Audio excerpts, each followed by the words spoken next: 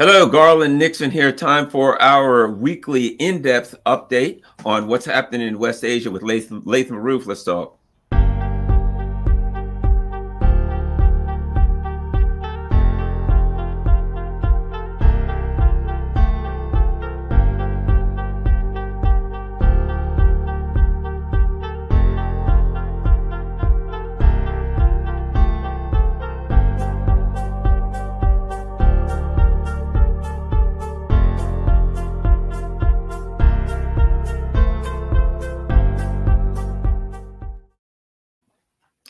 Hello, Garland Nixon here, and uh, I'm hanging out with Laith Marouf again on a Tuesday morning, as usual. One of my most popular guests. People really enjoy this show. I get a lot of great comments about it, so uh, I feel like we're really fortunate to have Laith. He's live in Beirut, Lebanon.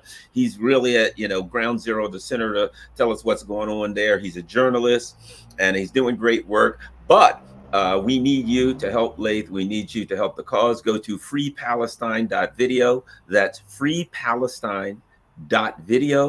Um, go there. You can see the the work that Laith is doing to put forth um, English language information out of uh, the area in real time. FreePalestine.video, and it's it's critical that you donate and help them. You know, if you want, there are a lot of people around the world who are you know home and they're angry and they're like, I wish I could do something. I wish there's more I can do to help the cause. Well, you can go to freepalestine.video and um, make sure you, uh, you, you give you know whatever you can afford. If you don't have any money, if you're like I got no money to give, go to freepalestine.video, share that website on all your social media uh, platforms, and put you know put a little note. Please go here and um, donate and that you can so you can help any way you can all right Laith, let's start here a couple of things uh, that i think are of, of great we're, we're going to start we got so much but let's start with this one of the things that you said on our last um, our last broadcast was what seems now to have been fairly prophetic in a, in a particular way, in that you talked about the um, uh, uh, uh, Erdogan's party in President Erdogan's party in uh, Turkey taking a beating. And you said, well, it's a number of things, but mostly it is the people are angry over the support for Israel, and in particular, the fact that they're supplying supplying the jet fuel for Israel to bomb the Palestinians. Update me, what's happening in Turkey? Oh well, we already are seeing uh, the results of this election and uh, the pressure that the public has been putting on Erdogan and his party because they have been the biggest supplier. if you could speak a little louder, I'm not. If you could speak a little louder because I'm not hearing you real. The, the volume for some reason is kind of low, but yeah, we can so, hear you. It's just low volume. So is it better right now? Yes, definitely better. Okay, perfect. So uh, what I was saying is that um, uh, you know since the beginning of this war, Erdogan has been using public uh, making public statements in support of Palestinians, but Turkey being the biggest supplier of uh, products, including jet fuel, that uh, you know is, is put into Israeli jets that are bombing Gaza, that has never stopped. So now we see the results of the election that the main subject that differentiated Erdogan uh, from his opponents was the opponent's position about cutting uh, economic ties with Israel. We see it right now having the results with uh, Turkey uh, seceding um, uh, and putting a ban on the export of 54 products. That includes metals, raw materials, equipment that could be used in war, and jet fuel. So now uh, with this happening, we see the first ever actual action, not words, by Turkey in uh, support of the Palestinian people and ending the genocide that we see in Gaza. And this will have immediate effect on the uh, actions of the Israeli uh, Air Force uh, that has been utilized uh, heavily in the bombardment of Gaza and uh, Lebanon and Syria, what have you. So, uh, uh, you know, this uh, right now will have an actual effect on the ground. And thanks to the pressure of the Turkish people and the results of this election that we saw last week, uh, this is happening.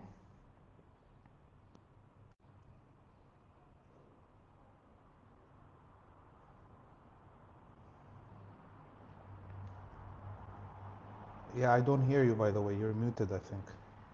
Oh, sorry about that. There's been uh, there's been pushback against the leaders in um, in in in the region, but now it looks like we're starting to see some results from the pushback from the people. You know, we saw millions of people in the streets in Turkey and other places, and now it looks like it's the pressure is turning up so that it's getting more difficult um, for the regional leaders that are somewhat compromised to, to hold the line. Um, I understand similar things are going on in Jordan. That Jordan is coming into the state. Oh yes, yes. You know, in Jordan, there's demonstrations uh, for now two and a half weeks every night uh, after the breaking the fast up till dawn, uh, and this. Uh, you know, it's put so much pressure on the Jordanian government. There's been clashes with the demonstrators on a daily basis there. And uh, they had uh, to, you know rounded up up to 300 of the demonstrating um, you know organizers uh, people on social media that are uh, famous in Jordan that are pushing for these demonstrations uh, all to suppress this. And um, now you know we put this in the context of the uh, attack on the Iranian embassy in Damascus and the pressure that is mounting on Jordan militarily since that moment, because we had the Iraqi resistance uh, saying that they are ready to arm 12,000 uh, Jordanian fighters with, uh, you know, light, medium, and heavy equipment uh, to begin a military campaign in support of the Palestinians inside the West Bank uh, from Jordanian territory we see that uh, uh, Iraqi, Syrian, and Yemeni drones and missiles continue to fly over Jordan to hit targets in the occupied territories. And uh, we also, of course, uh, have seen as a response to these threats coming from the Iraqi resistance um, and the resistance as a whole outside Jordan and inside it, the Jordanians now instituting uh, military checkpoints uh, on all entrances to the major cities in Jordan, as well as uh, you know very uh, in, uh, intermittent uh, checkpoints across all the main highways of Jordan, and they've moved huge amounts of military equipment and personnel to the borders with Iraq Syria, and even Saudi Arabia. So what does this mean? That means that the Jordanian government is uh, very worried about uh, what's happening. They're taking the threat uh, very uh, seriously. And uh, in the uh, situation of the response of Iran coming, which is coming 100%, the response of Iran to the attack on its embassy in Damascus is coming. Uh, uh, and it, it, depending on the response of the Israelis to the response of the Iranians, Jordan may find itself uh, sandwiched between the two warring uh, parties. And, uh, you know, Jordan is a very fragile country that is manufactured by the British, that has been uh, kept in existence through a British and American military alliance. Uh, without uh, you know the, the safety net of the Western backing of the king, uh, Jordan would not exist. And this is a moment I think that we will be seeing as we get closer and closer to the liberation of Palestine, that all these Sykes-Picot borders and the manufactured states in the whole region, not only Israel is manufactured and fabricated and, and cannot be maintained except through force. Much of the countries that the West created in, in, in this region cannot exist without the uh, main, you know, continuous military enforcement and physical uh, violence against the people and their will. You know, I recall Donald Trump when he was in uh, in in, uh, the White House saying, and you know, Trump would uh, one thing about Trump, he would always say things that others wouldn't say. He at one time stated if the U.S. backed away from Saudi Arabia, the, their government would fall in two weeks. So the, the the the the good thing about Donald Trump was he didn't understand imperialism, and that you have to keep certain things quiet. And so he would say, Hey, we're going to take the oil from Syria. Oh, Saudi Arabia. But the fact of the matter was, all of those things that Donald Trump said were 100% true. That uh, as you said, most of these governments will fall. I, it, it, does it appear to you as though um, uh, uh, Egypt is it any because that seems like a, an interesting country. Uh, you know, when it, politically speaking, it's hard to read. Uh, that it seems to me like it's a the military runs it, but the fragility of Egypt, and they're caught in a bad spot because they're up to their ears in debt to the West. Your thoughts on on Egypt, how they fit into this puzzle? Oh yeah, well there has been demonstrations in Egypt also for the last week, uh, including the uh, journalist uh, guild and journalist associations had their major demonstrations outside their union house, kind of their, their main office in Cairo, and uh, were chanting in support of the resistance. And uh, you know, the, the, Egyptians are very famous for their comical chants and, and rhymey things that they come up in, in the Arabic world, anyways. But part of their chanting was about the uh, guilt and the uh, feelings of humiliation as Egyptians towards what they were seeing happening in Palestine and how uh, you know emasculated they feel because of this. So we saw the authorities in, in Egypt arrest some of these journalists after this demonstration.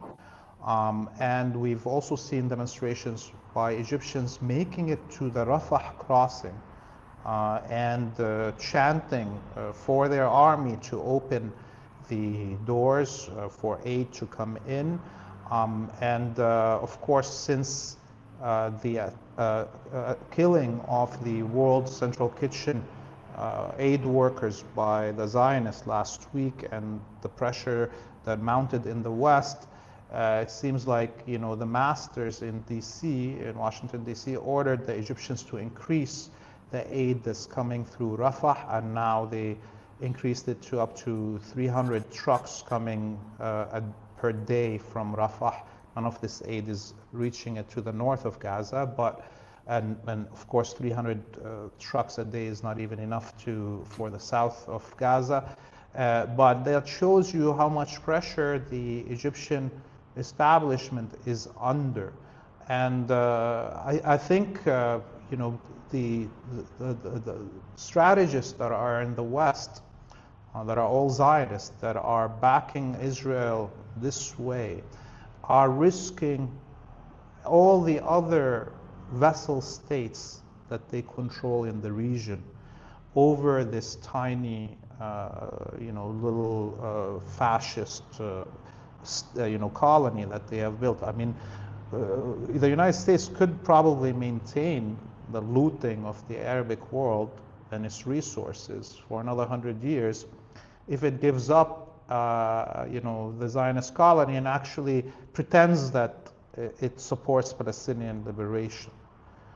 But because of this ideological uh, and supremacist, uh, you know, reasons behind why the United States is backing Israel. It's, it's illogical for anybody that uh, analyzes it from just uh, strategic and or geopolitical positionality because they have all the other pieces that they control in the region. So this is why our audience, you know, must understand that at this point, like Sayyid Hassan Nasrallah in his speech uh, last week, uh, last weekend, he said that uh, the elite in the West and the Zionists in Israel have lost their mind. Nothing they are doing makes sense right now because they are, uh, they realize that they've lost the war on October 7th uh, biggest human uh, defeat for them. And since then, they've lost the war. Even after six months of genocide in Gaza, they haven't been able to capture anything. Um, so, so this is the, the, the context of how the West is making its decision. They've lost their mind. You know, you mentioned uh, uh, uh, the fascist uh, government of occupy of occupied Palestine. I, am going to show you something um, I've been showing it to some of my guests recently, getting a comment. Let's take a look at this. This right here is the Naval Administration Building right now, not yesterday, not 100 years ago, right now. This is the Naval Administration. Did we lose Laith? You still there? Yeah, Can you I'm hear me, still here. I'm okay. still here, but I don't know what happened with the camera. I'm trying to check it. Okay. Here we go. You hmm. can hear me? You loud and clear. Okay, let's go on and, uh, and I'll figure out what's happening. Okay, the so the bottom line is this is a building. It was planned in 1968. It was uh, uh, I see uh, I see your camera again, and it was um, built. It is shaped exactly like what it looks like, and it is in uh, on a naval base in uh, Coronado in California. Um, it is a swastika. Um, ah, your thoughts on the United States right now, um, and for many decades now, having a. am um, seeing. Uh, we're seeing your. Can you can you hear me? We're seeing your camera. Oh, you're going again. Yeah, I don't know what's happening. I'm gonna change the setting on the camera somehow. Okay. Go ahead. I'll give our yeah. yeah, continue talking. I'm, I'm, I'm here. Okay, I'll give our guest uh, just uh, this is something that I've been showing people because a lot of Americans don't know it. A lot of Americans don't know it's there, and that is a base. If you look at the article, um, uh, it came. The Google Earth was taking a bunch of pictures, and uh, people looked at it and noticed it. Um, this is at the uh, the uh, barracks at a naval base on Coronado and San Diego. It was designed in 1967 by architect John Mock. Uh, four structures, L-shaped buildings, um, and they basically okay. So there we go. I see you back now. So there we go. This is this is it. This is United States Navy. This is a building that the United States Navy um, put up and maintains to this very day that's talk about saying the quiet part out loud. What's your what are your? I've been asking my guest recently. What are your thoughts on seeing a stinking swastika? Although, from the looks of the Biden administration and their allies, Netanyahu, it's pretty. And what's going on in Ukraine, it's pretty damn appropriate. But your thoughts on that, Lee? Oh yeah, look. Uh, obviously, at the end of World War II, the uh, West absorbed much of the Nazi uh, elite, including all their military elite. Everybody knows, you know, how the leadership of the Nazi military ended up leading NATO, leading NASA, leading much more within the, uh, and including leading Germany after the end of the war. So, uh, it is not a surprise to see that uh, in the United States you have these buildings, and it's a story that a lot of us know about. Um, uh, you know, this picture of, of the building in the United States uh, Navy that looks like a swastika. And there's many other buildings across the West that are like that. Uh, I think the historically, uh, us outside the, the, the European sphere uh, understand that there was really no nobody that would disagreed with the Nazis in the West uh, during before World War II. What made the disagreement is that the Nazis used the same tactics that the West had used on the rest of humanity for centuries uh, against members of the uh, European uh, groups. And uh, that's the only thing that actually the United States didn't, in my mind, the United States didn't enter uh, World War II uh, until it was worried that uh, England was going to be gobbled up by the Germans. otherwise, it was fine for the United States if the Germans occupied all of the rest of Europe or killed the Russian Slavic resistance to to uh, capitalism at the time. So, uh, you know, to see now uh, and remember, like World War One, and the, the, after World War One, the walking away of Germany and uh, Japan and Italy out of the League of Nations was because they saw France and the UK and the United States continuing colonization, but the League of Nations was not allowing them to occupy Italy and uh, Angola and Ethiopia and do the same as the French and the British are doing in terms of genociding locals and, and, and stealing resources. That's the reason that we had those states walk out of the League of Nations and ended up in World War II. Today, we see the United States acting in the same way, uh, with it all its vessels in the in the West, where they're walking away of international law and the all the treaties that they signed. Uh, and uh, of the United Nations, uh, you know, charter and, and, and structures, and destroying all of that because they're they're disagreeing that they have to stop colonial behavior. Uh, they're saying, no, we, we will continue to do this. And if you can't stop, if you don't like it, try to stop us. This is really what the war in Gaza is about, or the war on, on, uh, on, on Yemen is about. Yeah, absolutely. So let's move on next to uh, you know, let's move on to something to, to something. I did want to touch base on that since we were held up a little bit anyway, and get your thoughts on it. Um, Iran retaliation. Um, the uh, Israelis, you know, violated it as always. They could care less about international law and international norms, etc. They attack a, an embassy, and the Iranians say we will respond. But here's the part I think that the West doesn't hear at a time and place of our choosing. The West automatically seems to think the Western mentality is you punched me, I must immediately punch you back. It has been my experience watching the Iranians that they're slow to move, that they're careful, that they think of things through, that um, there's no guarantee when or how they'll respond, that it'll be today or tomorrow or next week or next month, that it won't be a number of things, such as giving more heavy, uh, heavy weaponry to some of their allies and different things like that. I don't think it'll be just they come back and throw a punch. Not that they're not going to respond, but I don't think the West understands the concept of civilizations that have been around for tens of thousands of years. That the civilizations that have been around long see the long game, and they don't have to punch a back, a back, and that it will be a measured and a multi-pronged response. That's what I think. And and and I'll say the other thing: if you know I'm going to punch you and you have your guards up, why would I punch you right now?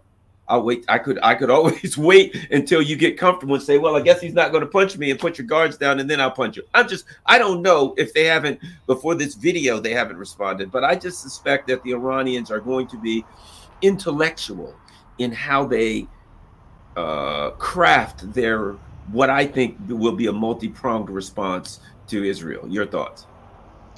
Yes, I mean uh, obviously, we've seen always Iran uh, take advantage of such uh, attacks on it to draw out bigger plans and put into action uh, these plans and accelerate their their coming into fruition and you know and we can see for instance you know what's happening in Yemen or what's happening in Syria and Iraq and Lebanon in terms of, and Palestine itself in terms of how heavily armed and trained right now all these uh, uh, axis of resistance components are, or how they uh, are self-sufficient and building their own um, uh, equipment and so on. Uh, that's one thing, but it's definitely that the response of Iran is coming very soon. It's not going to be long. Uh, but a few things that uh, obviously you mentioned. The part of the response is, of Iran is to get the, all the Zionist establishment to stand on one leg, you know, in the corner, right, like waiting for their punishment. And that's what we saw.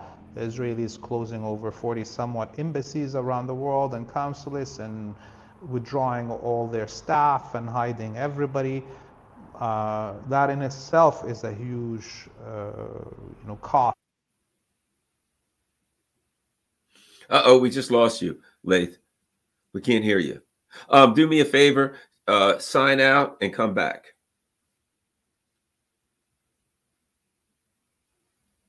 Okay, there we go. That happens for some reason. It may be because he's in Beirut. Um, it may possibly it could be because he's in Beirut, but occasionally we'll lose him, and when we do, he just signs out and signs back in. And I've actually had that with a few other people that are in various parts of the world. I've had it happen with um, Jody Brar, also in England. Could be software, could be any number of um, any number of uh, of reasons, but uh, we'll keep an eye out here, and Laith should be back any second. Let me just send him. I'll send him a message. There we go and I'll just say sign just to make sure. Back in. And it happens. And, you know, I'm not going to um, negate the possibility that there's miscreant activity going on with the intelligence community. I mean, when I look at the numbers right now, 429 people, that's a very low number um, in, in, consideration of the normal numbers for this time of day. And I would suspect that, uh, particularly when it comes to this instance, the instance of the occupied of occupied Palestine, that um, YouTube may not be real thrilled about what we're doing, and they could have a hand in it. But when I say intelligence community and YouTube, uh, you know, we're talking about the same thing. So, um, but the bottom line is, um, I'll, I'll chat on a little bit. Now, audio is gone. Can everyone hear my audio okay? Can can people hear me? I guess I can hear. Is oh, everybody is is, is can you guys hear me? Are you hearing me? I don't know. That's weird. Yes, your sound is good. Okay, there you go. Um, so at any rate, let's continue. I think what we're looking at here is the Iranians uh, taking their time. I think part of it is this, you know, if someone says, I'm going to punch you, right? And you tense up, right? Well, you're tiring yourself out by tensing up. How long can you stand there like this on edge? You know, the, the the the thing to do if someone's going to attack you is to relax, to breathe, so you can think. You get plenty of oxygen to your brain, oxygen to your cells. And if you tense up, you're burning up all of your energy, tensing up your muscles, right? So what uh, the Iranians have done is they've cre created a, an instance where the Israels are all Israels are all tensed up and they're burning up their uh, give me a five count. One, two, three. Ah, there we go. Okay, so let's continue. We were talking about the uh, Iranians' response, I believe, and and and uh, go ahead. Yeah, so so definitely the Iranian response is coming. Uh, it's going to be at their hands, as we heard uh, Iranian officials say, as we heard, uh, you know, Hassan Nasrallah of, of, of Hezbollah saying, and uh, it's coming soon. Uh, it's going to be huge. It's going to shake the whole Zionist uh, establishment. It's not going to be a little joke response. And uh, we don't know what the targets are, but I think it's very likely that it will be inside the Zionist colony. It's not going to be an attack on their one of their embassies because Iran took a clear position that the attack on an embassy is a violation of the Vienna Convention, and they don't want to look like the ones violating the law. They're, they're uh, responding on the territory of the Zionist colony because the attack on the embassy is an attack on Iranian uh, territory. That's what an embassy is, is a sovereign territory of that country. Uh, the, we heard that the United States uh, contacted uh, Iran. They were saying, uh, please keep us out of it, that we're not involved in this.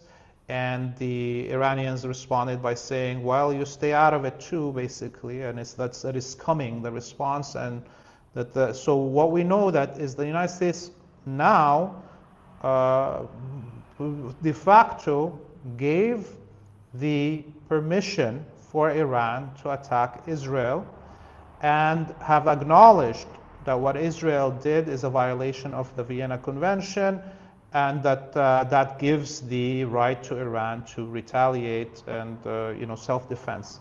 So uh, I think Israel uh, right now is uh, all waiting for this response from Iran, and the whole region, according to what Sayyid Hassan Nasrallah said in his speech, he and this is the first time I ever hear him say such a thing.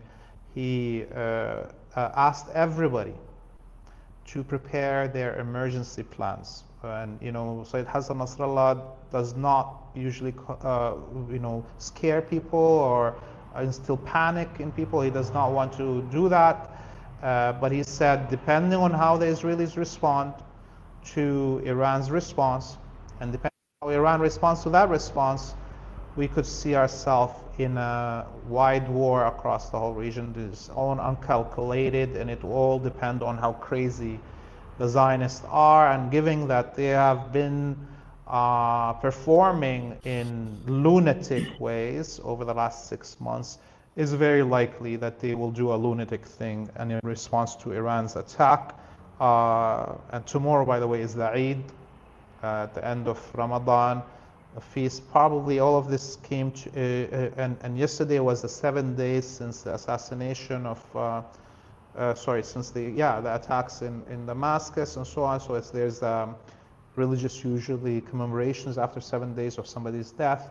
So where all of those are factors in why Iran didn't respond yet.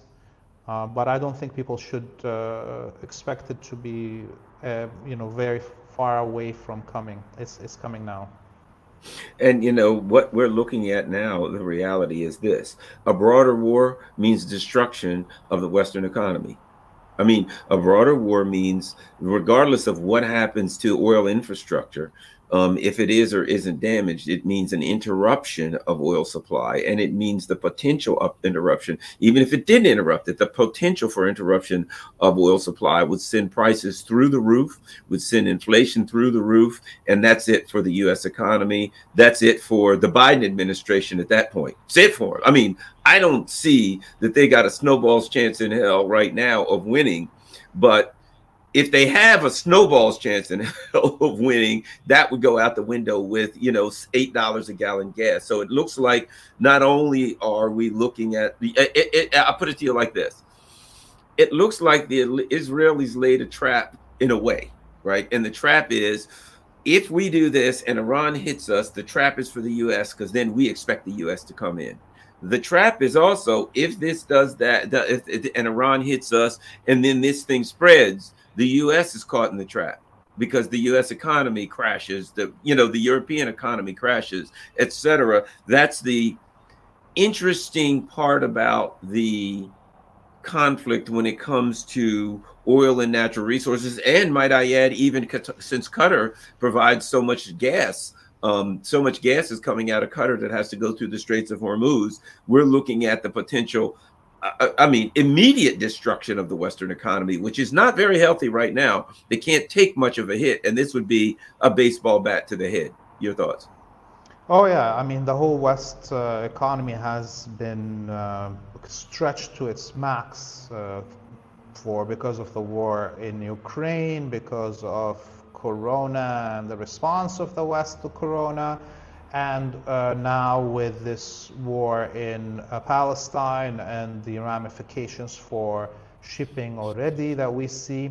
So uh, it, it, it is clear that uh, you know Israel did what it did by attacking the Iranian uh, consulate uh, premises in Damascus was a desperate act because it's losing the war in Palestine, in Gaza, is lost the war also against the resistance in Lebanon. Uh, I think uh, our viewers lost the war in Ukraine. Yes, that's lost. Yes, yes, yes. So, so the only thing that it can think about, uh, and, and if there is a look, Netanyahu and his cabal know that if there's a ceasefire right now, there'll be a civil war inside Israel, and or the least of it, they will be rounded up and put in jail because of their failures in October 7th when they were in government and their failures since militarily. Just because of the viciousness of the other Zionists, not because you know the other Zionists think that they should be put in jail for the genocide that they committed. No, but because of their failures to defeat their opponent. This is why Netanyahu and Smotrich and uh, Ben Gvir came into power. They said, we are fascist. Openly, they were saying that. And we will, with our fascist behavior, teach those goddamn sand ends uh, not to ever lift, lift their head. Okay, with our like uh, punching in the in the face that we will do. And what have they achieved? On the contrary, they have humiliated Israel militarily.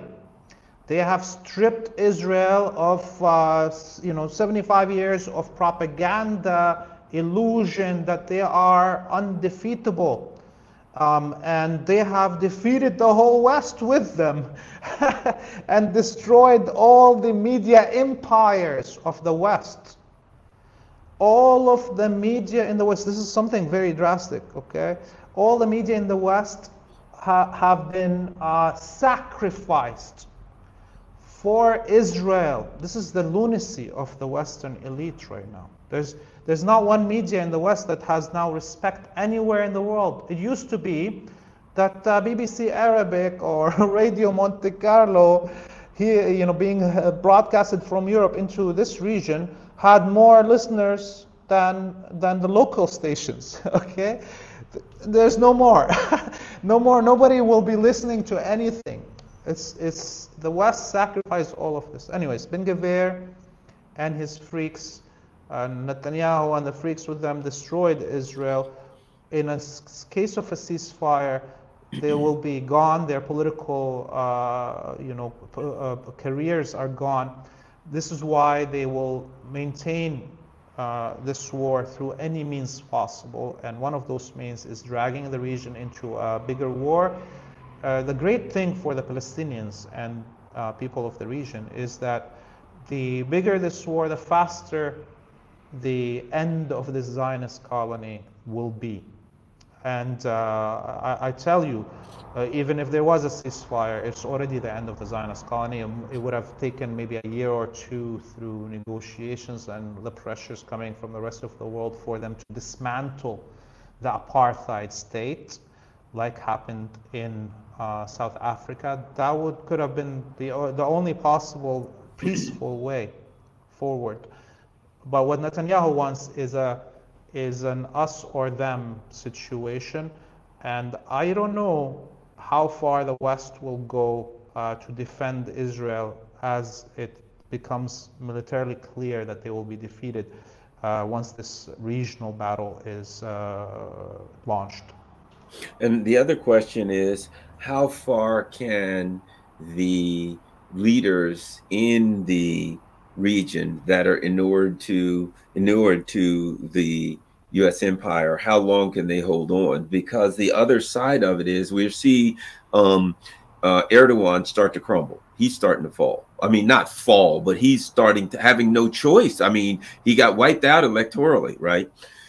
As the pressure builds, and I think it's critical, as the pressure builds in Jordan, as the pressure builds in the Gulf states, etc the U.S. empire, if it loses its leaders in the Gulf state, if it loses the leaders that it controls, it has nothing. And and and, and I think that's the one of the horrifying things to them that they feel like you know who knows, you know whether it's the Epstein videos or whatever the case may be, they have a bunch of them.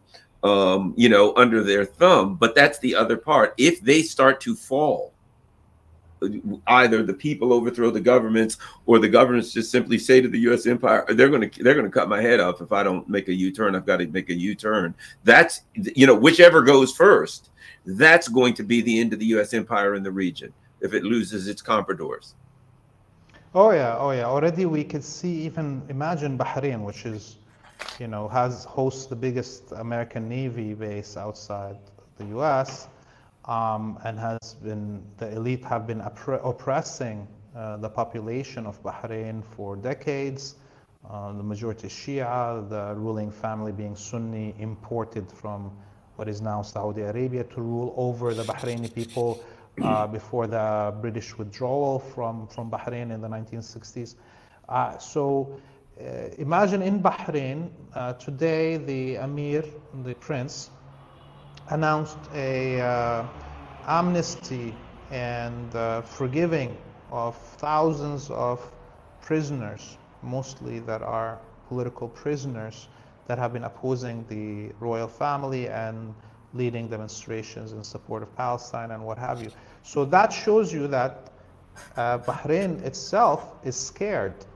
We're at a, a moment where the, this uh, whole region uh, could blow up in flames, uh, depending on how Israel responds to the Iranians. We know the Iranians are, are, are going to attack. We just don't know how the Israelis are going to take this uh, punch, and we don't know where that's going to take us after. Okay, so a, a lot of these uh, countries are now scared because their whole existence depends on the American presence here, depends on their alliance with the Zionists for the last 80 years. They all collaborated with the Zionists since the 1940s, and some of them since the 1930s. Uh, and uh, they, they all don't, can't protect themselves. They only have existed as elite that, that siphon off uh, a little bit of the money that the U.S. is stealing from the oil fields here uh, without that, uh, they, they, don't even have people that are willing to die for them. They have to pay, uh, United Arab Emirates has to pay for Indian uh, police force uh, in the streets. Uh, Bahrain needs Saudi military on the streets of Bahrain. Um, anyway, so yes, things are very fragile. And we are right now, with the liberation of Palestine, having uh, to open up uh, all the uh, wounds of World War I and what came after it in the capture of these Arabic lands and the chopping it up into these fake countries and hopefully uh, whatever comes next will be the end of this uh, colonial era. Let me ask you this: your thoughts on Iraq? You know, when you mentioned um, you know countries that were you know arbitrarily drawn up by the british and you know and they're you know with no uh, concern for ancient tribal lands and tribal boundaries. I think of iraq with the kurds and the sunni and the shia the you know that what what they had for a long time was minority rule and and and the instability in iraq from the us empire still trying to um, basically occupy iraq and the Iraqis saying, um, you know, we don't like that. What do you see for the future of Iraq and the present of Iraq? What are your thoughts on it? That's a very interesting, particularly since the U.S., you know, bashed it to pieces and tried to occupy it afterwards. What are your thoughts on Iraq?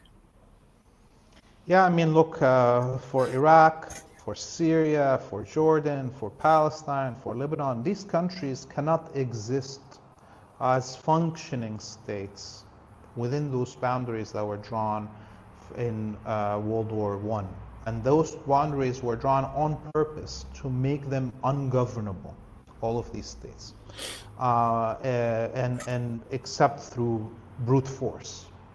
And, and so when you have a country uh, like Iraq uh, that uh, you know includes so many different uh, religious sects and or uh, cultural groups, uh, it becomes harder to govern.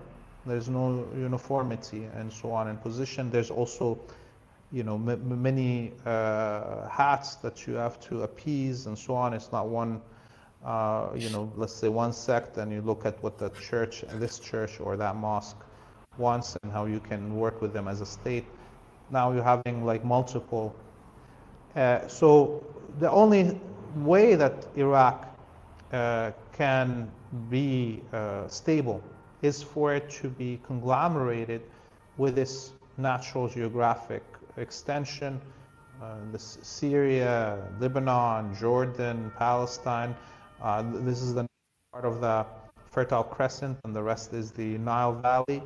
Uh, and and and this, these, you know, then we will have a more homogeneous population in terms of uh, what is the uh, uh, how, how, how, each sect's numbers and how much they affect a political reality and and so forth and it will become easier to move in a space like that where people have more freedom more intermingling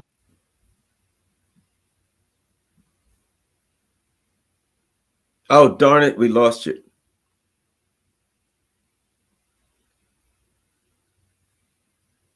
Yeah, we lost Laith again. Okay, we're gonna have to. Yeah, well, well we we still got more to say, so we'll see if we can get Laith to sign out. Can you hear me? Hello. Ah, there we go. Okay, we're looking good, loud and clear. Okay, yeah, continue. I just changed the mic. I don't know what's happening with live stream, uh, sorry, StreamYard and these uh, technologies of DJI. Oh, there you go. You just gone again. Hello? Yep, you're loud and clear. Who knows? Maybe we've got some help somewhere who's doing. Yes, you're loud. I can hear you. Yes. Yeah, you can Definitely. hear me now. Okay. Yes, we can hear you. Yes. Perfect. Okay. All right. Okay. All right. So, so uh, what were we saying? We were talking about um, Iraq. Oh yes, Iraq. So my family, you know, the Marouf family, we are part of the Buhani uh, uh, clan, which is part of the Mashahda tribe. Okay, which means you know the Marouf family is originally from a region in Iraq called Ana, and they're part of the Mashahda uh, tribe. Mashahda are the ones that witnessed the assassination and martyrdom of Hussein. So my family is originally from Iraq, and so they, they've moved up the river in the Euphrates to where Deir ez-Zor is hundreds of years ago. And this is what it was. You know, there's part of our family on the Iraqi side, there's part of our family on the Syrian side. Uh, and, and only the Sykes-Picot borders stopped us from continuing this relationship with our original towns and, and villages. Uh, and, and connectivity to our, our tribes and clans. So this is the future. The future, the minute the Palestine is liberated, is not the creation of a secular democratic state in Palestine for all its people, which is great. No, it's the integration of Palestine with uh, the, the natural region that it belongs to and a return of natural movement of people in, these, in this region and uh, that will be a building block for Arab unity as a whole. Uh, the minute that uh, Greater Syria is, is, is unified, then that opens the door for unification with the Arabian Peninsula, with Egypt, and, and then things start rolling. And the United States is going to, this is why the United States is accelerating its uh, direction, direction towards war, global war with China and Russia, because it sees the rest of the world conglomerating into bigger bodies that will be harder to manipulate. So we see what's happening in Latin America, the integration the, between you know, Venezuela, Colombia, Bolivia, Cuba, so on, what we, you know, Mexico, the integration that's happening in the Sahel region between you know, Mali, uh, Niger, Burkina Faso. This is what scares the US. This, it scares the US and all of the European old colonial powers that uh, ex-colonized people finally and wipe away the colonial unnatural borders that were imposed on them at the end of World War I. Uh, and, and the battle in Palestine is it, the central battle for, for that ch change. Yemen, I understand there's been more naval battles. What are your thoughts? And I suspect, I do suspect that the Iranians will take some of the gloves off in Yemen, and I suspect that they're going to. I've already heard things about the Yemen having more Yemen um, uh, uh, Ansar Allah having more sophisticated weaponry. Your thoughts on what's happening in Yemen? Give us an update.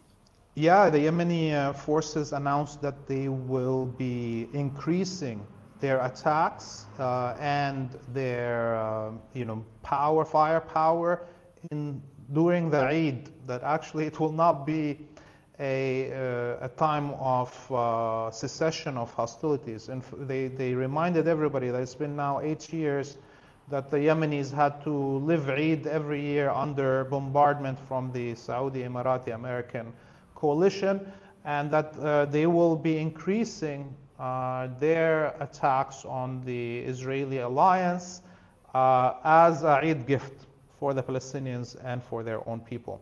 Um, and uh, they also announced that yesterday, last night, uh, they engaged in uh, a naval battle with American and British, you know, naval pieces. They didn't identify what what's these, the names of these ships or their designation. Uh, it's most probably their frigates. uh, that are the first line of defense of uh, the uh, aircraft carrier group, um, and that this battle lasted hours, uh, and that they had achieved their goals, and that their uh, forces returned to their naval bases unharmed. And this is the second time we hear uh, them an announcement of such a naval battle in the Red Sea in a week. So this shows you that uh, the United States is under uh, immense pressure. Uh, the, we already saw the, the, the Dutch withdraw their naval force from the Red Sea and fire their Minister of Defense because one of their frigates got, uh, their destroyers, sorry, got damaged, damaged. They're claiming by itself uh, misfire, missile, blah, blah, blah. But in reality, Ansarullah were able to hit them, and this is the result. So the United States is at the edge now uh, of losing of, uh, some of its naval pieces in the Red Sea if this continues. And that's why we saw Biden begging Yemen, saying, oh, it will take you off the uh, terrorism list if you stop this. And the Yemeni is laughing, of course, and saying, no, we will continue this until you stop the genocide in Gaza. I also think that that is a critical um, Yemen is a critical, shall we use the term chess piece, I guess, to uh, uh, steal a, a, term from the imperialists. It's a critical because as it sits, the U.S. is looking, saying, we know they've probably got much, much more powerful weaponry that they're not letting us see. And that should the U.S. decide, okay, we're going to attack Hezbollah, Iran, wherever, that they're uh, they've got a number of ships in the Red Sea area. And should Yemen, in fact, have significant more, significantly more powerful um, weaponry, which undoubtedly I'm sure they do, if the U.S. was to say, okay, we're going after Hezbollah whatever, the likelihood is that the ships that they have now, uh, I'll put it to you like this. Yemen's kind of playing footsie with them right now, throwing a few this, throwing a three, few that, keeping them busy, punching at them, swinging at them, you know, got them ducking and dodging but it's obvious they're not really trying to sink these ships, I think. And that if this a broader war in the U.S. were to become, a, a, you know, an open co-belligerent here, that they'd likely use, lose. They'd be in a bad situation there because Yemen could put a hurt on them in a in a in a hurry. And again, the power of the resistance is they're looking at the Iraqis, and the Iraqis keep sending missiles into, into Israel. So Israel have to say has to say, do the Iraqis have a thousand of those missiles? You know, if this were to if this were to happen, and they'll hit, you know, an oil refinery or a base or a port, and they have to ask themselves, could the Iraqis wipe out our port? You know, could, how hard could they hit us if this happened? How hard could the um, Yemen hit the U.S. It's kind of like someone standing there and I got my hand behind my back. They don't know if oh, I've got a knife, if I've got a gun, if I've got an empty hand, and that keeps me like, do I want to push this thing too far? Because it could be a gun, it could be a knife, it could be a grenade. I don't know. Your thoughts on all of that? Oh yeah, Iraq yesterday hit uh, Eilat, uh, the naval base in Eilat in the south of Palestine on the on the um, Aqaba Gulf they also hit the um, main command control uh, base in Beersheba in the Naqab Desert, and they hit uh, the Golan Heights all in one day. The Yemenis, uh, and this is something that you know Sayyid Hassan Nasrallah in his speech on on Friday talked about Yemen specifically, and you know he said, oh, some some analysts are saying, oh, Yemen backed down, less attacks every day happening on ships. But if you look at it really, uh, the reason there is less attacks on ships, uh, trade ships that are passing through the uh, Bab el Mandeb, is because there's less ships right. uh, daring Yemen. That the majority of companies in the world, shipping companies, already are going through Africa. They're not even trying. So if there's only one or two crazy American, British ships that are paid by the American government saying, go, go, go, go, and we'll have your back with our Navy. Uh, of, of course, there's going to be less attacks, and they are still being hit.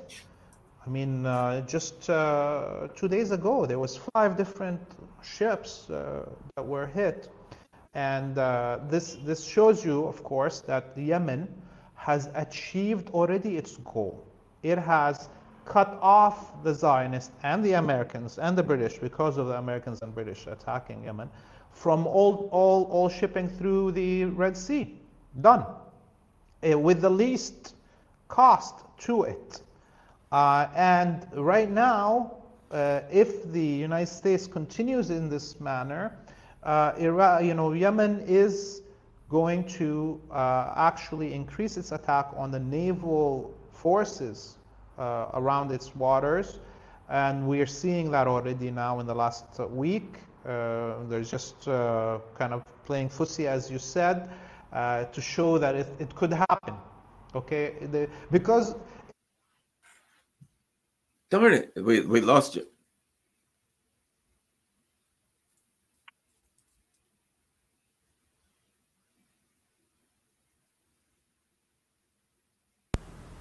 Okay, I think I'm hearing you. Say something. No.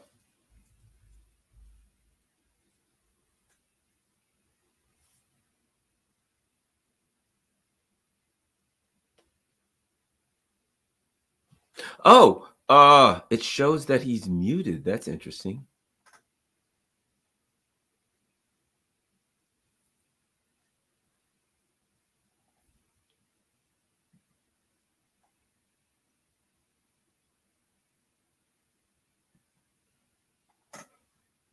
It shows that he's mute. My thing shows that K that he is muted. Hello?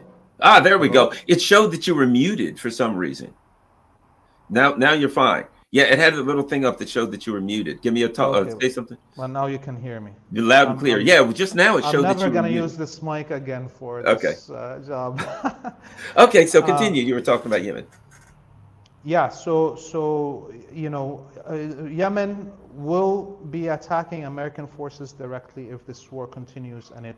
Uh, but if if their objective is to get the Americans out they're almost at achieved that objective right now from the waters with the least all they have to do is continue to play footsie and eventually the Americans are going to leave. Uh, it's costing them billions of dollars to maintain this presence. We, we, I, I was reading reports from the American Navy.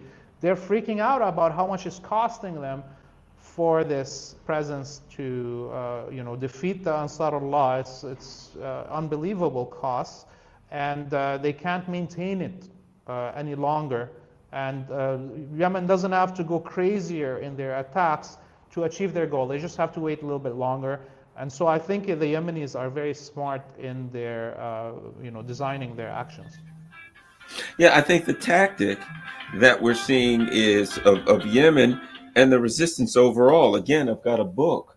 Uh, uh, uh, uh that talk if some if people read this book it's called people's war people's army the viet cong insurrection manual for underdeveloped countries right and it's by the general who defeated the french in vietnam and he when you read that book i would if if, if people want to understand what the resistance is doing and how they do it that book talks about how a resistance fighting against a gigantic, powerful imperialist army such as the US, how they can be defeated. And when you read that book, it's basically it looks like the resistance has been have been has been reading it. You know what I mean? It's they they're not going to get into a big pound for pound fight on them. You know, all of my soldiers line up against all of your soldiers. No, that's what they want. We're not going to get in one place where you can just bomb everybody. They're hitting them from they're creating basically as general Giap says the front is instead of having one front where everybody goes to the front like the big militaries and they fight along the contact line like you see in ukraine what general Giap says is the front is wherever your enemy is if he's over here, that's the front. If he's over there, that's the front. That you decide, you engage him when you want to engage, you disengage when you want to get engaged, so that you control everything. And that the weakness of the imperial powers is their size, is that they have to be everywhere and they have to dominate. So you can punch them and leave and punch them and leave. And that's a great book to understand that. But it looks like right now, the U.S. has to say, well, let's say we engage and we're going to hit Hezbollah. Well, wait a minute.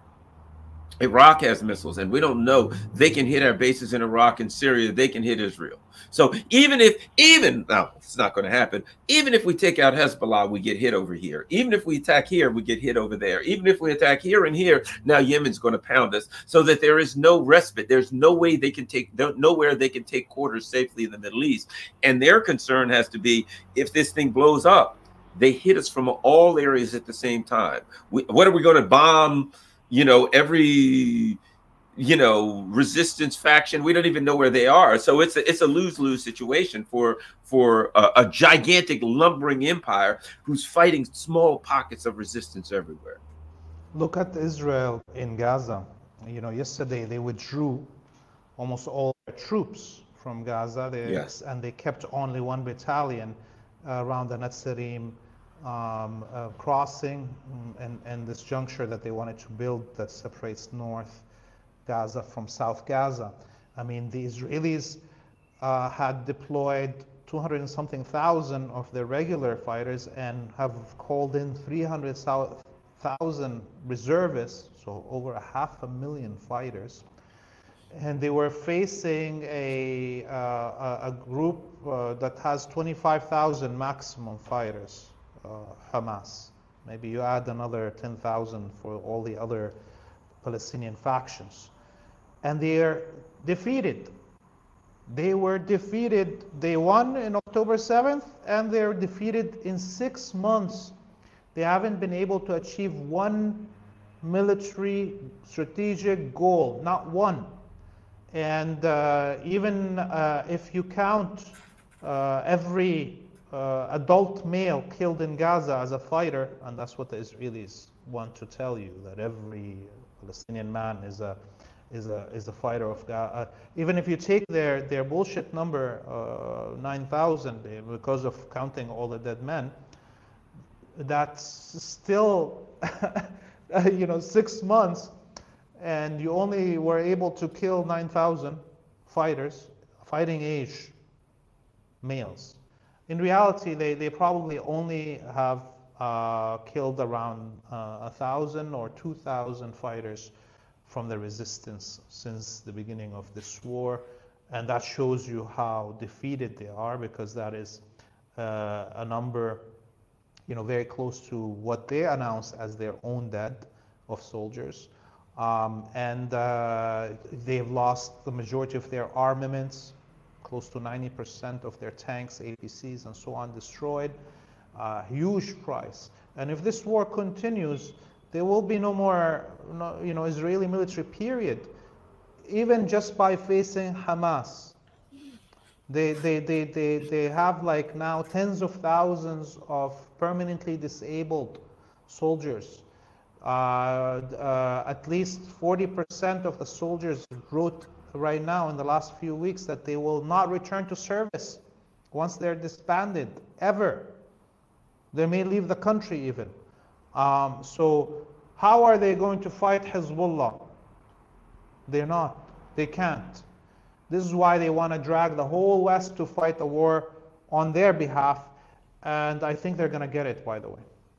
And the other thing is, they lost their economy with no hope of ever returning. There's no hope. When this is over, you will not be able to um, have anything that says made in Israel anywhere in the world because not only will people not buy it, they will protest against a supermarket that sells Israel stuff. Um, people will have no parts of software. You know, they're very much into tech. Their software, if it's from Israel, if it's anything from Israel, so they've lost their economy. Their soldiers, so I, I add this, and this isn't even taken into account.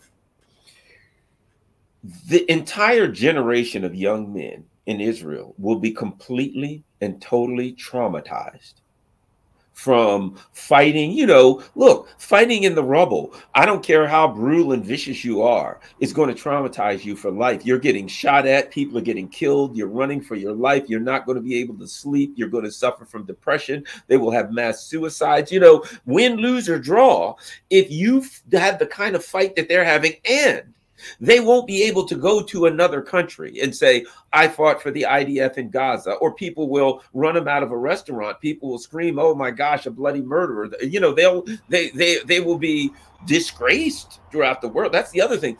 Israel will have no economy and it will be disgraced for all time throughout the world. They have lost everything.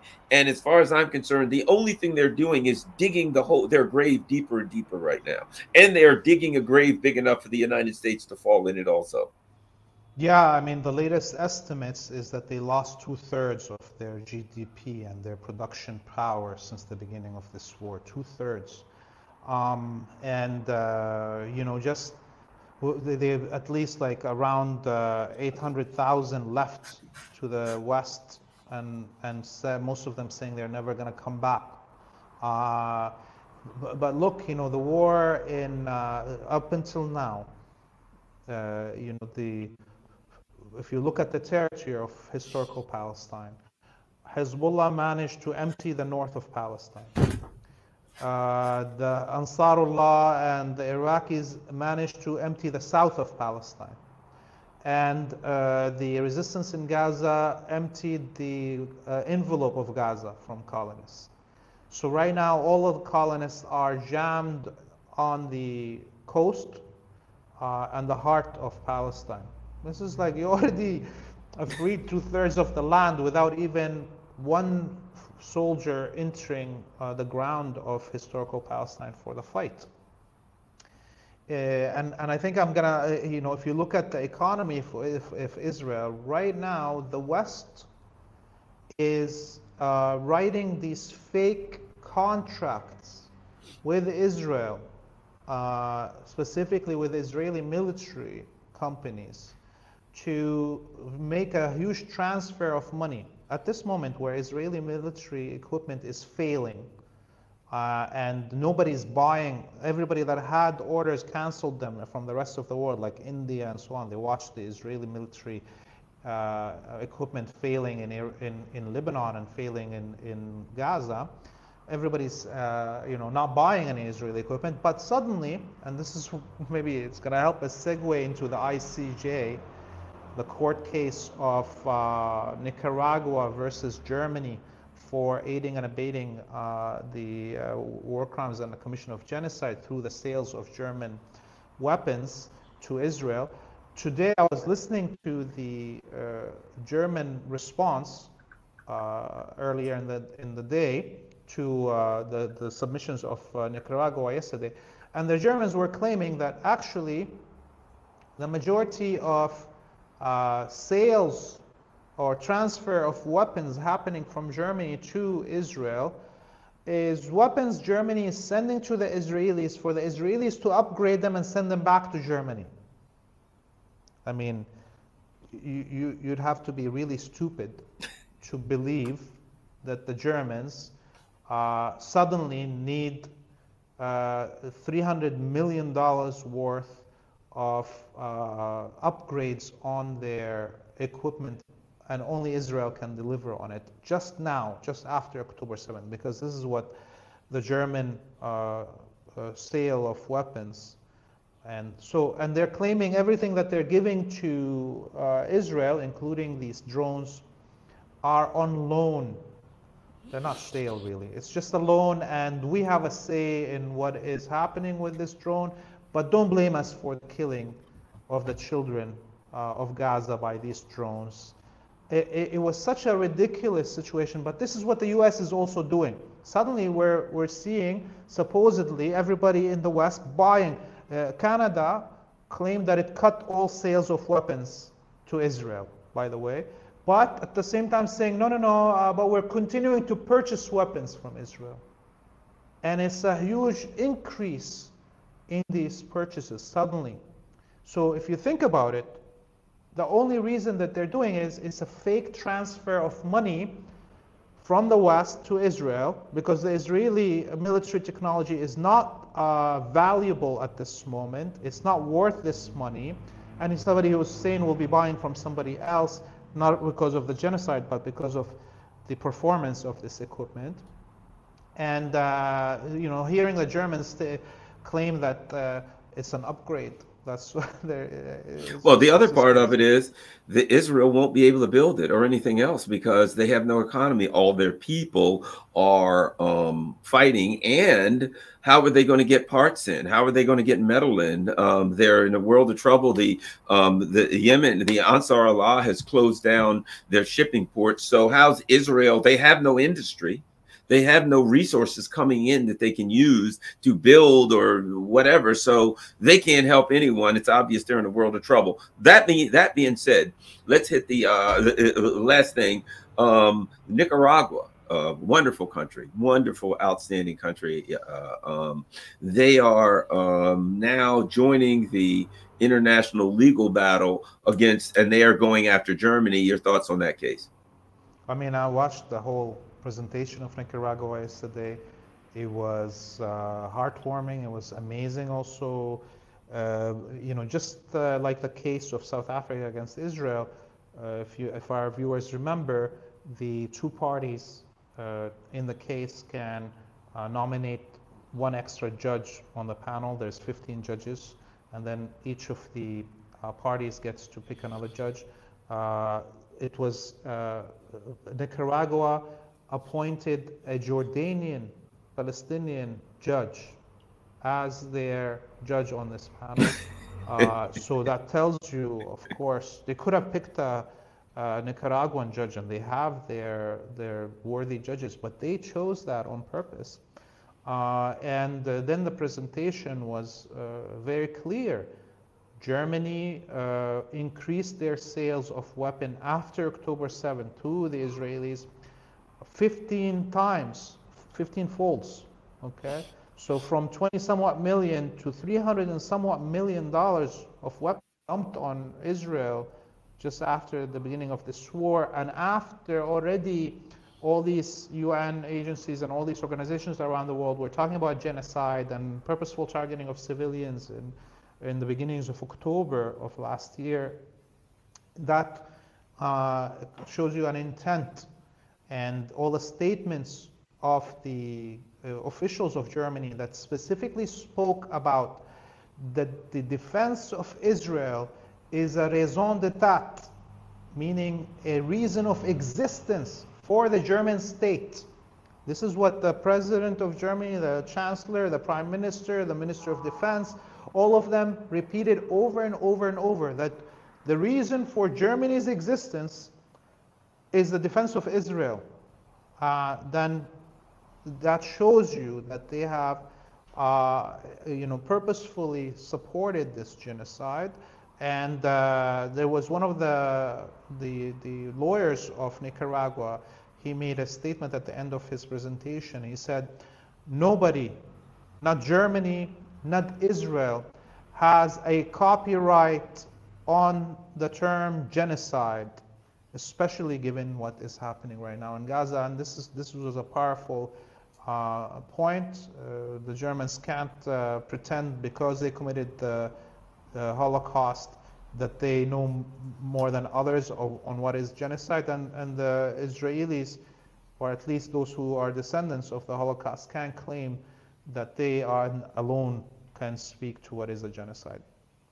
Yeah, uh, here, here. Well, Laith Marouf, thank you very much. Once again, everybody, go to freepalestine.video. That's freepalestine.video. That's Laith's site.